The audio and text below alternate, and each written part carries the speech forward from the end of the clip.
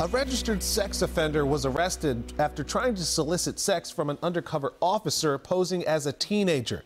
Police said the man talked to the officer online soliciting sex and making plans to travel from Boston to Maryland. He was arrested in 2009 when he traveled from Virginia to Massachusetts to kidnap a 12 year old.